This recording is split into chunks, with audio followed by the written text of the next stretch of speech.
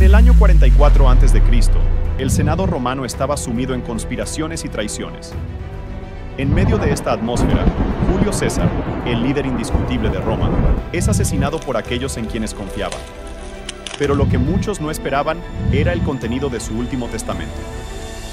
César, sabiamente, había hecho disposiciones para el futuro, y en un giro sorprendente, dejó la mayor parte de su fortuna, no a sus aliados políticos o generales leales, sino a un joven sobrino nieto, prácticamente desconocido para el gran escenario de Roma. Ese joven, llamado Octavio, estaba destinado a grandes cosas. Con el vasto legado y la riqueza heredada de César, Octavio se elevó en poder, superando a sus rivales y consolidando su posición.